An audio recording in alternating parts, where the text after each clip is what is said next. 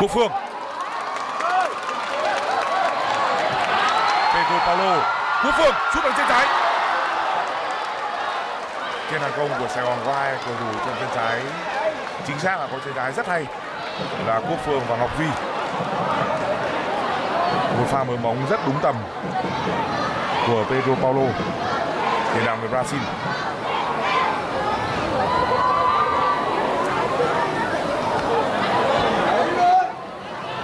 Của phường. dứt điểm. Hai không cho cao thủ Sài Gòn. Cao thủ Sài Gòn chơi nhận ra nhưng vẫn đã có được hai bàn thắng. Nâng tỷ số lên 2-0 mỗi khi Sài Gòn có những pha phối hợp chính xác và tăng tốc, thì các cầu thủ theo lập tức bộc lộ sự lúng túng. Rất nhiều khoảng trống. Và cánh chân trái Quốc Phương đã không bỏ lỡ cơ hội. Chân trái Quốc Phương có thể có những pha bóng rất hay pha phối hợp giữa Quốc Phương và chân sút người Brazil, Pedro Paulo. Quốc Phương đã ghi bàn thắng thứ hai ở V-League 2019 với theo nhưng họ đã không thể tận dụng.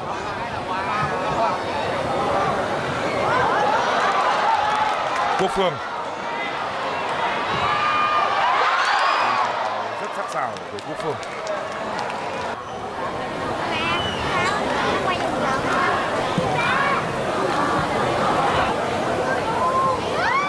Quốc Phương.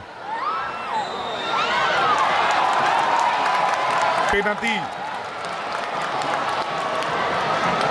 Phút thứ 40 và Sài Gòn có cơ hội rất lớn để đưa tỷ số lên 3-0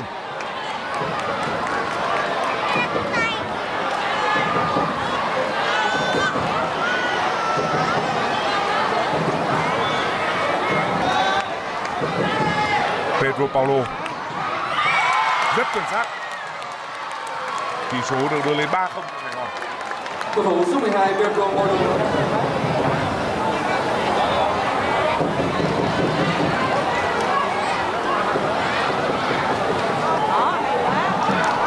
Quốc Phương.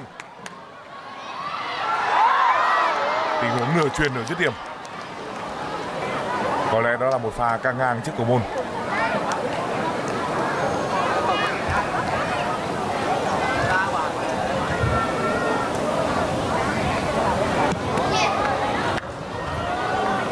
Quốc Phương.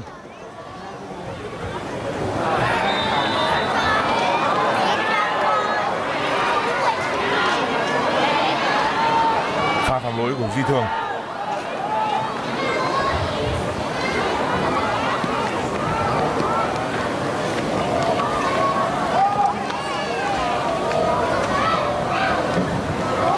Rất may cho Duy Thường là anh chưa phải nhận thẻ vàng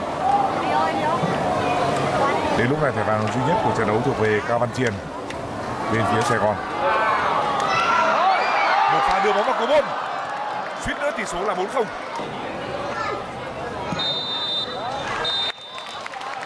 và như vậy là trọng tài Đỗ Thành Đề đã nổi tiếng qua mãn kết thúc trận đấu câu lạc bộ Đội Sài Gòn đã thất bại với tỷ số 0-3 3-0 trên sân của Sài Gòn.